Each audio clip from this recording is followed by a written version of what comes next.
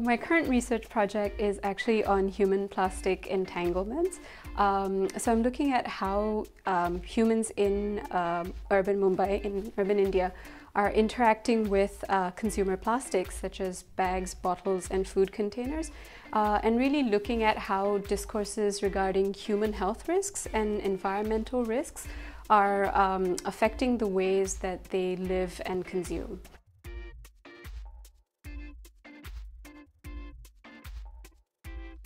Uh, probably because my research is currently on um, human plastic interactions, I've really been getting into these sort of environmentalist movements and I suspect probably things like how to do laundry with soap nuts and uh, how to avoid using um, some of these processed um, products on the market. Yeah.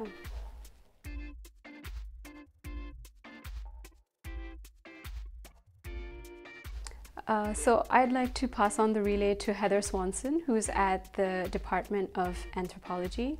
Um, Heather, I know you work a lot with natural scientists, so I'm just curious about how working across disciplinary boundaries has really maybe affected the way you approach anthropology and um, the ethnographic um, techniques that we usually use.